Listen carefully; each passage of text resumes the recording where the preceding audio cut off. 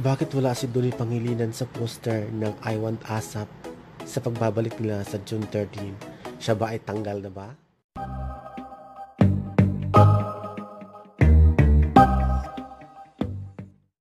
Magbabalik na po ang ASAP natin to. Of course, andyan palagi ang I Want ASAP with My My and uh, Ruby Domingo and Edward Barber. Pero bakit wala sa poster itong si Donnie Pangilinan? Mayroon po silang also streaming live on Facebook, YouTube, sa mga platform ng ABS-CBN channel.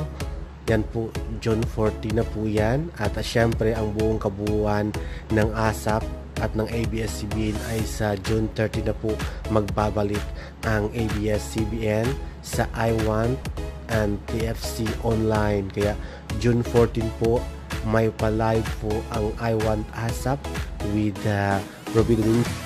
Yes, Ruby Domingo, Edward Barber at Mayma Entrata.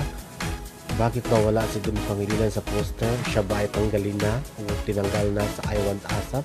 Dahil igiligit ng mga tao ang love team na Mayma at Donnie Pangilinan. Siya ba ay tanggal na ba? Malalaman natin yan sa tagdang panahon sa I Want ASAP. Walang may dun. Si Maymay po ay uh, pwede magsuot dahil marami siyang talent, marami siyang kayang gawin. Kung siya ay mag-love team man, siguro magbabalik si Edward Barber sa kanyang buhay pag marami pang nagmamahal sa Mayward. Pero at the same time, pwede siya mag-solo dahil very talented girl.